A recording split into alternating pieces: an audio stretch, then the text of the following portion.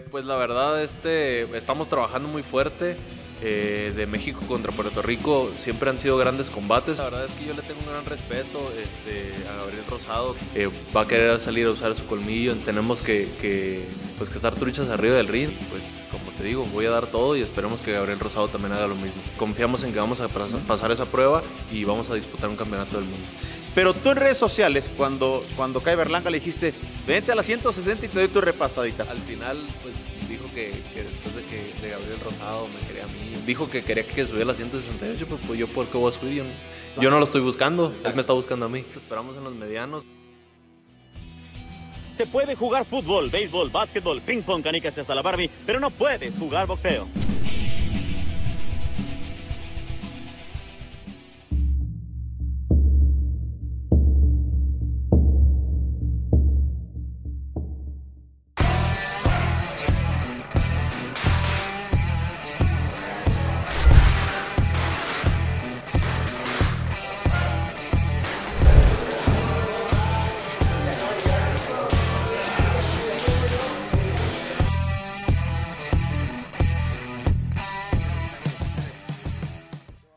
Querido Jaime, terminando de entrenar eh, para un combate ante Rosado 13 de noviembre, México-Puerto Rico. Defínela, por favor, papá. Eh, pues la verdad, este, estamos trabajando muy fuerte.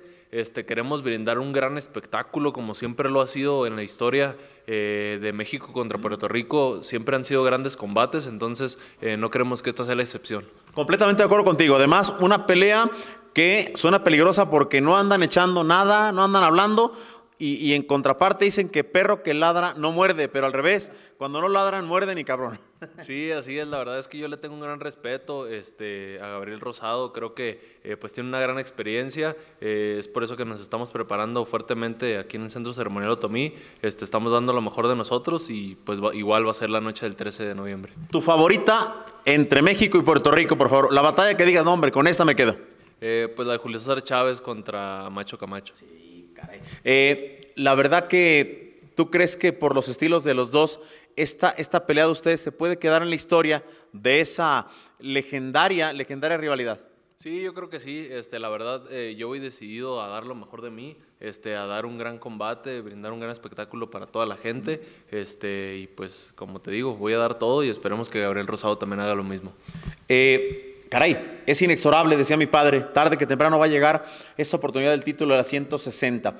Hoy te pregunto, a días del 13 de noviembre, a días de Rosado, ¿qué tan cerca palpas, a ver, intuye, sientes, olfateas, como quieras decirle, al título del mundo? ¿Qué tan cerca lo sientes? Eh, pues la verdad lo siento este, cerca, eh, creo que es yo pienso que para el próximo año, obviamente tenemos presente a Gabriel Rosado, que es un gran compromiso y la verdad lo respeto mucho, como hace un momento lo dije, pero este, confiamos en que vamos a pasar esa prueba y vamos a disputar un campeonato del mundo.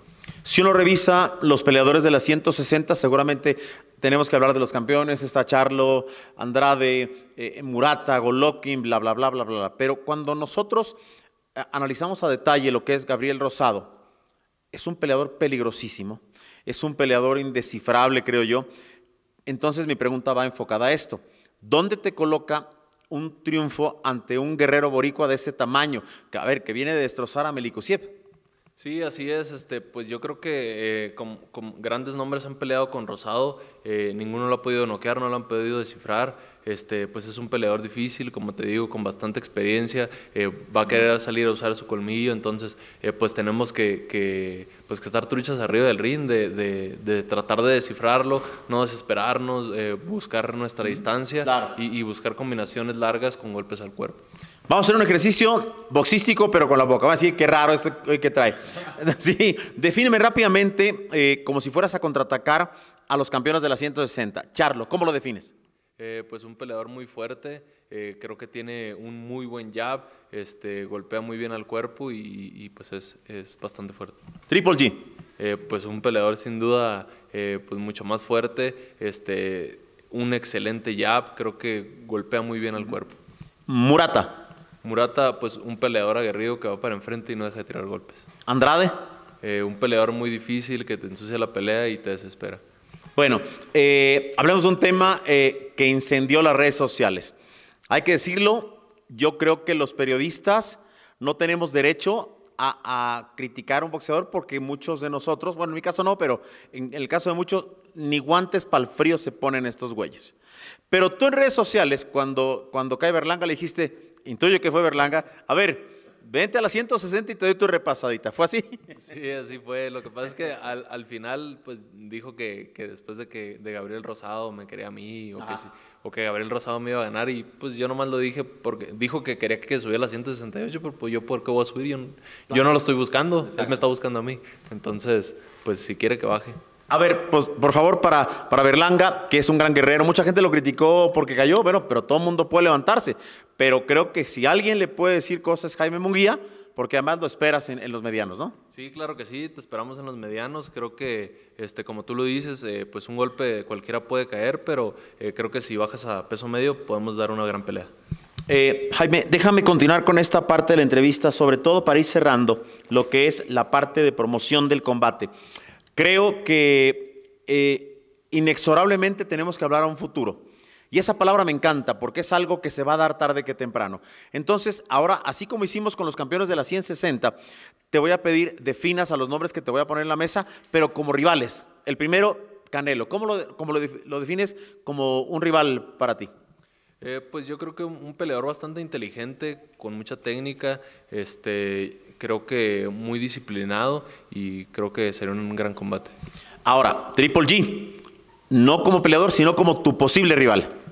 Eh, ¿A qué te refieres? Como... Sí, ¿cómo, cómo, cómo te, te, vislumbras tú enfrentándolo? O sea, ¿qué, qué le ves de, de vulnerabilidad? Todo este tipo de cosas. Pues, eh, yo pienso que es un peleador, obviamente, que, ya tiene mucho camino recorrido. Eh, sin duda es un gran peleador, tiene una gran experiencia, pega bastante fuerte, este, pero eh, yo pienso que, con mi presión golpea el cuerpo este, y, y, pues hay que buscar una buena defensa y una buena distancia porque sabemos que pega bastante duro, pero yo creo que esa sería la clave para, para vencerlo. Sé que estás en 60 y estás muy bien en 60, además impecable, ya listo para la pelea, pero Benavides es también un tema que seguramente se dará. Eh, pues sí, yo pienso que sí, eso ya yo creo que un par de años, tres años que, que yo suba a, a, 168, que sin duda voy a subir, pero pues ahorita estamos concentrados en la 160. Y para enfrentarlo, ¿cómo, cómo te imaginas que serían lo, sus, sus, debilidades? Eh, pues yo pienso que, que es, un pele, pues es un peleador zurdo, creo que es un poco más difícil, pero pues atacando con, con derecha, eh, golpes por, por el medio al cuerpo, eh, y pues los uppers que son fundamentales para los zurdos. Maravilloso. Dos cosas más y después los invitamos a que no se la pierdan. Además, he estado trabajando mucho en los comunicados de prensa de tu pelea, eh, en lo que es la cobertura total y ahí estaremos sin duda. No, al contrario, gracias por recibirnos. Lo primero y principal, ¿qué te dejó Tyson Fury frente a Wilder? Para mí fue un tirotote de época, pero para ti, ¿cómo, cómo fue? Eh, sí, la verdad que sí, yo creo que fue un tirotote, la verdad, este, muy entretenido. Este, sin duda, eh, las tres peleas que, que han hecho eh, van a quedar para la historia. Este, yo creo que Fury pues, es, un, es un peleador muy inteligente que lo supo trabajar, eh, supo tomar su tiempo, supo tomar su distancia. Entonces, la verdad, eh, le tengo un gran respeto y una gran admiración a Tyson Fury. Es, es increíble, además. Y aguantó, lo, y aguantó. O sea, se, se, levantó. Yo no creí que lo fueran a tumbar, no, pero pues en esos pesos un golpe puede cambiar todo. Cambia todo. Había caído en el Staples Center sí, en la primera, sí, sí. que para mí la ganó también, pero bueno, eh, problemas de, de ansiedad, eh, depresión, es un ejemplo a seguir, ¿no? Mira quién anda por aquí. El Hunter. El Hunter. Yo creo que es un sí. ejemplo el Tyson Fury, ¿no? Dentro y fuera del ring. Sí, la verdad que sí, pues se ha visto eh, su disciplina, todo lo que ha hecho pues a lo largo de todo este tiempo, eh, cuántos kilos ha bajado de peso, entonces eh, yo creo que pues ha sido un gran sacrificio para él, pero pues como te digo, eh, siempre detrás de un sacrificio hay una gran recompensa. Completamente. Antes de ir a la invitación y el cierre de una, de una jornada, una eh, pues un día con Jaime Munguía que ha sido una, una delicia. Llegamos aquí a las 6 de la mañana eh, y lo único que hemos recibido son bendiciones y atenciones, lo cual aprecio a todo el equipo, a todo, todo el equipo, de verdad, gracias. Pero bueno, Canelo Plan en la, en la previa. Te pido ahora no como un posible peleador de ellos, sino un analista, que además analices el boxeo bien chingón. Eh, pues yo creo que va a ser una gran pelea. Yo creo que a Canelo se le puede dificultar un poco si, si Caleb Plant eh, se empieza a mover, se empieza a llavear. Obviamente, pues hemos visto que, que Canelo tiene eh, pues muy buena defensa. Yo pienso que, que esta pelea va a ser el Canelo va a ir al frente, va a ir esquivando sus golpes y va a ir presionando poco a poco, golpeando el cuerpo y va a tratar de, acabárselo así a lo largo de los 12 rounds. Así la veo también. Finalmente, la invitación, 13 de noviembre, caray, eh, nada más ni nada menos que eh, en zona donde hay mucha raza, eh, México, Puerto Rico, Honda Center. ¿Qué, ¿Qué, más podemos pedir de esta velada, no? Invita a tu raza, man. Sí, claro que sí. La verdad es que pues estoy muy contento de, de, estar peleando en Anaheim, muy cerca de, Tijuana, en, eh, cerca de Los Ángeles, o sea, donde está toda la raza, donde está toda la gente que me apoya, todos los mexicanos. La verdad quiero invitarlos a todos y les prometo una gran pelea como siempre, una gran noche. Este, pues ahí los esperamos eh, sábado 13 de noviembre en el Honda Center. Pues ahí estaremos, obviamente la cobertura total. Eh, insisto, gracias por todas las atenciones a ti y a tu equipo. De verdad que lo apreciamos mucho. No, muchas gracias a ustedes por tomarse el tiempo de venir con nosotros y pues la verdad eh, siempre son bienvenidos. Muchas gracias. Jaime Munguía, 13 de noviembre, frente al King Rosado. La entrevista fue presentada por Seyer en los puños de los campeones desde 1930.